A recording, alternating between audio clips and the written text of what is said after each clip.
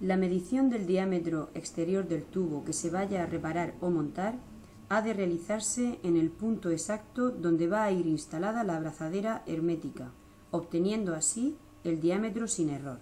Dicha medición ha de realizarse utilizando un circómetro o cinta diamétrica que proporciona directamente el diámetro exterior del tubo. Una vez conocido el diámetro exterior del tubo a reparar o montar, se puede elegir la abrazadera hermética que se requiere.